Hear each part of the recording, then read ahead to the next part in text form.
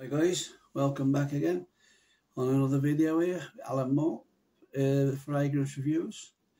On today's video, I'm going to show you six fragrances such as this one here, right? And all these fragrances I'm going to show you today pack a punch in their own way in their own style and I'll explain to you in the, in the video. So if you want stick fragrances that pack a punch right, if you're interested in things like that, stick around after the intro and I'll show you what I've got lined up for you. Cheers guys, thanks a lot.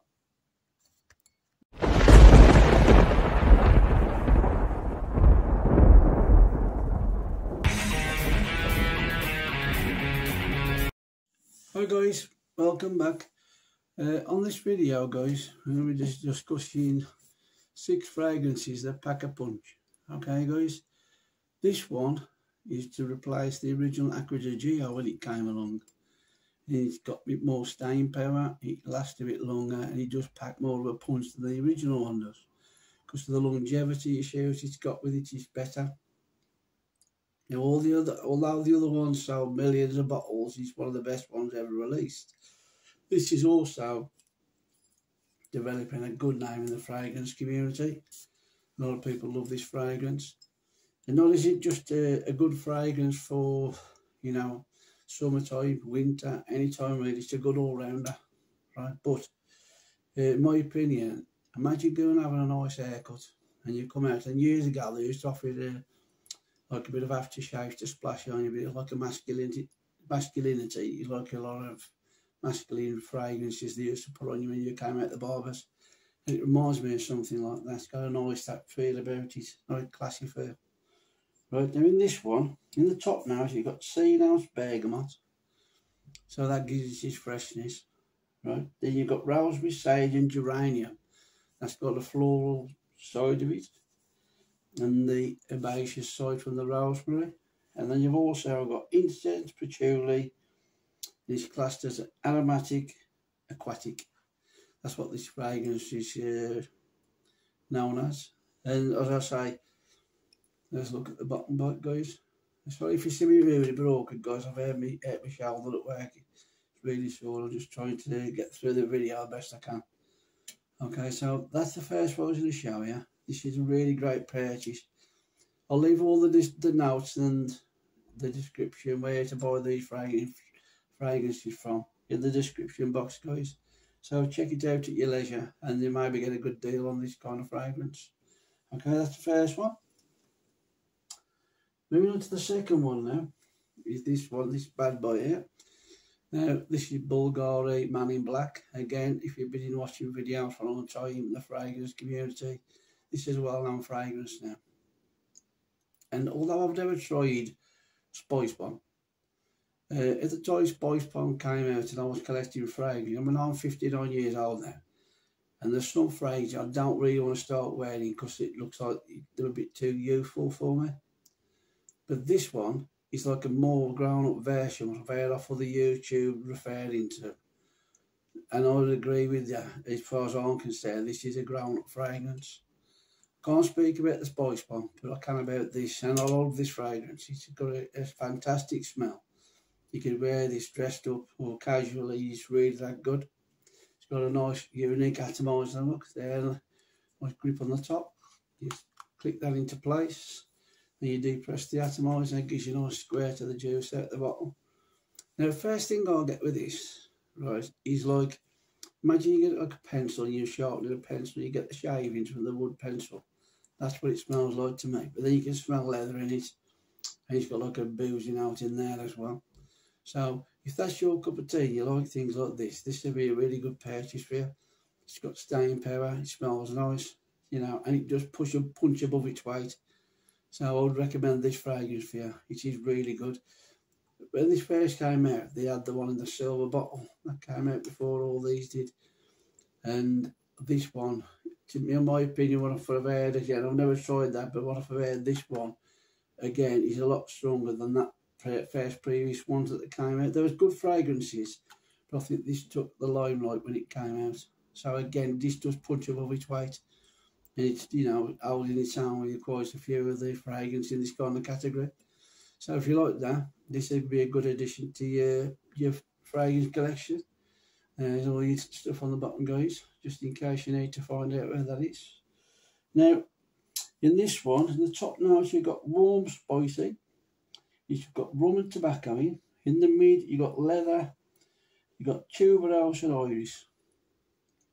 And in the base, you've got tonka beans, guaiac wood, benzoin. It's classed as an amber floral. Now, I can't really speak with got the floral because I can't, unless tuberose is like a floral. Yeah, and the iris. Yeah, I can work out what that is now, yeah. The iris definitely got that like floral note in it. You know what I mean? But I wouldn't say it came across as too, too much of a floral fragrance from my point of view. I, I don't think it does. I can smell the wood, the leather, and the booze more so than anything this fragrance. So again, I love this fragrance. It's another one of my fragrances I do enjoy wearing. So consider wearing this one, guys. That's my second choice. Then the third choice is this one. Again, another top brand name, Jean Paul Gaultier. This is the Le Male Parfum. The black bottle with the gold top. Bring Paul there, look guys, most people have seen these by now. Spray some juice out nice. And it's got a, I love their fragrance. They've got something about it and the smell. It's fantastic in the air.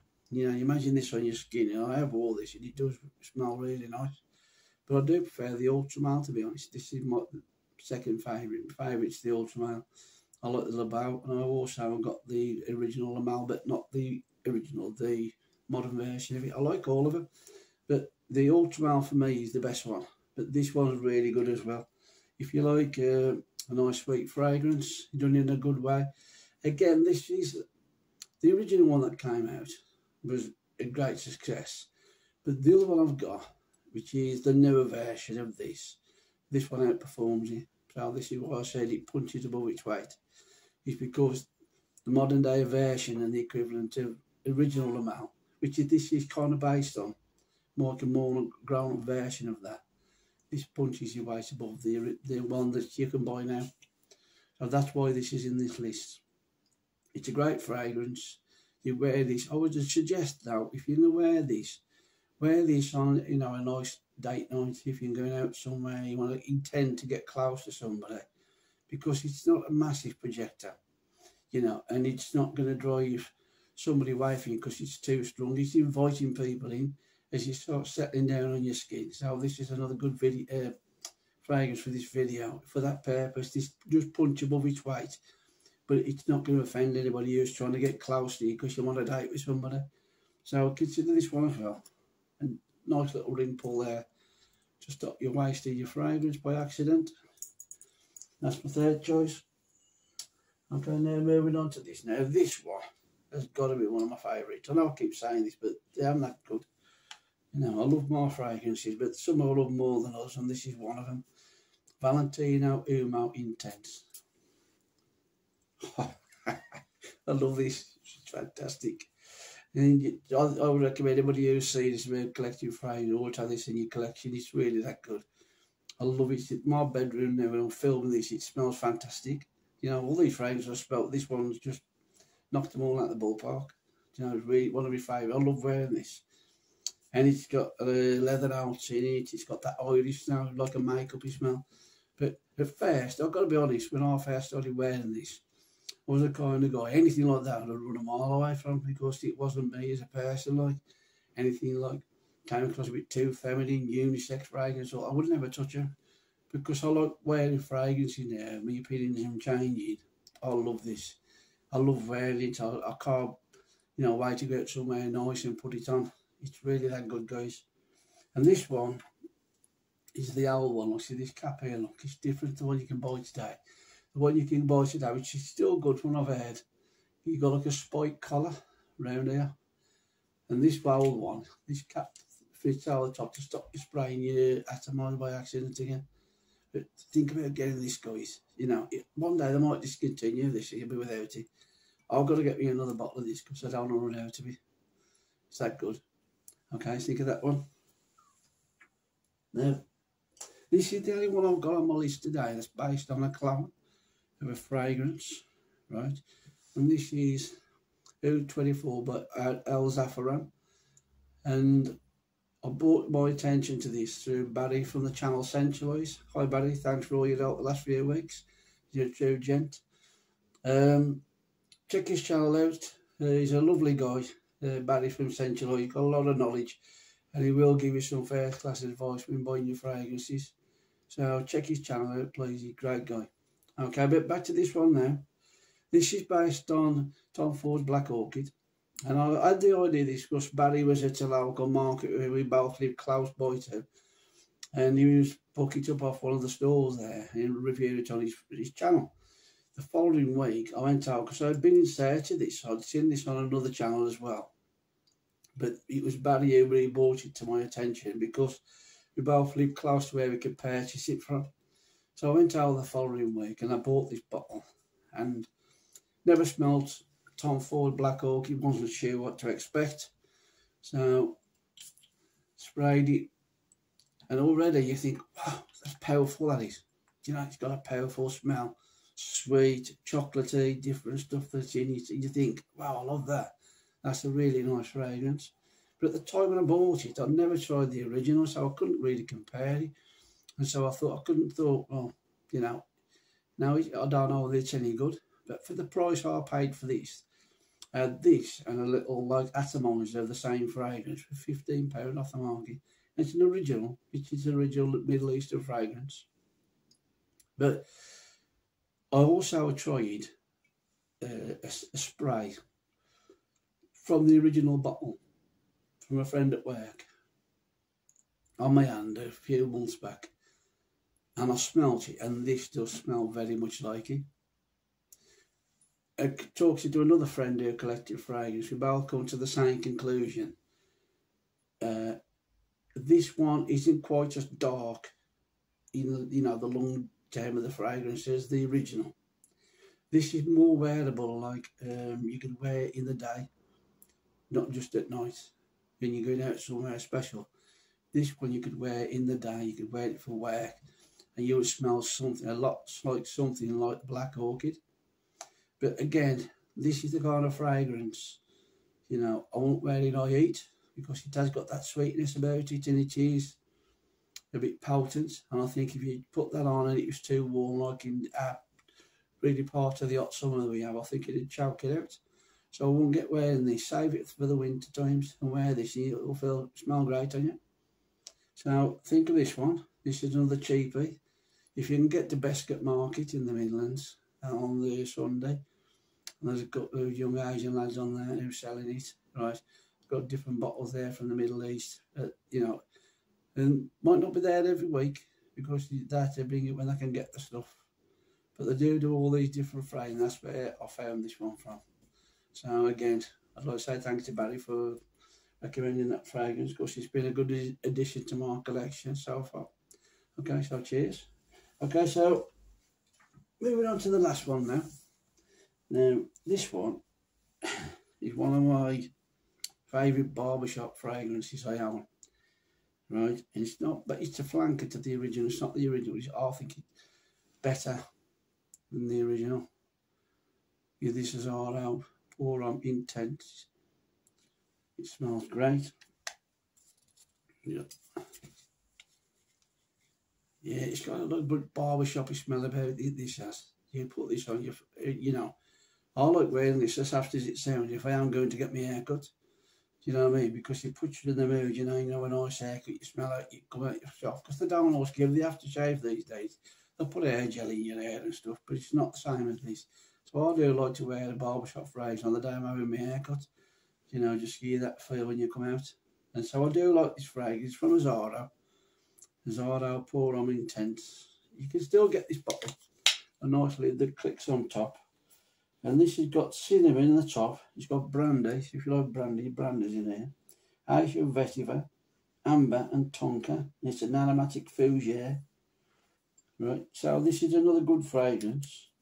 Now just let me just go back to this one again, guys, because I just want to read the notes off. Sorry about that, I forgot to give you the notes. On this one here, the Oud 24, in the top you've got dark chocolate, mandarin orange and bergamot. In the mid, you've got fruity notes, spicy notes, ylang ylang, gardenia, and jasmine. In the base, you've got patchouli, agarwood, oud, uh, sandalwood, incense, and amber. It's classed as an amber fragrance. So, they're all my rec recommendations from this video. And I say all these fragrances, you punch above the weight. And they do pack a punch.